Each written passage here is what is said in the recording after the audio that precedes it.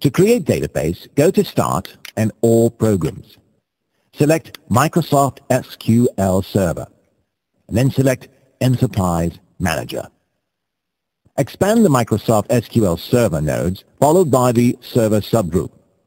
Select Local Server and expand the database nodes. Right-click on Database and New Database. A window called Database Properties will be opened. Now it contains three tabs, namely General, Data Files, and Transaction Log. Just give the database name as Products in the text box.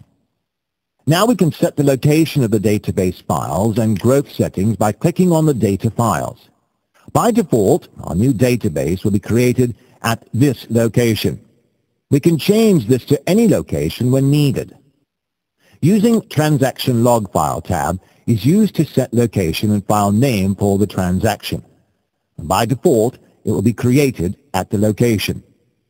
Now, click OK to continue. We can see the new database in the name Products. When you double-click the database, it will show you all the available items in the Products database. Now, so far in this lesson, we have analyzed how to create a new database by using Enterprise Manager. Up next, we'll discuss how to create a database using Database Wizard.